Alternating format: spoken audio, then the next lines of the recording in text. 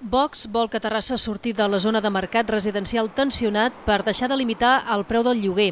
Així ho demanarà el ple municipal del mes de maig. Segons la formació, des que la ciutat forma part d'aquest grup de municipis catalans, l'oferta s'ha reduït dràsticament. Aquest fet hi afegeixen la inseguretat jurídica dels propietaris. Desde la ley eh, que se aplicó en diciembre del 2023, que se aprobó en el Congreso de los Diputados, pues ha habido una caída del 50% en la oferta de alquiler y entonces nosotros solicitamos pues que Tarrasa deje de ser zona tensionada para volver a dinamizar la oferta de en nuestra ciudad.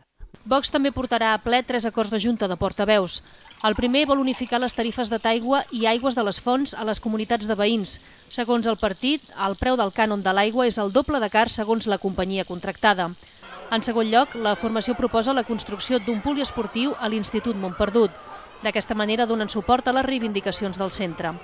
El tercer acord és per denunciar el tracte rebut per l'associació S'ha acabat en la presentació del documental El precio de la libertad al Cinema Catalunya.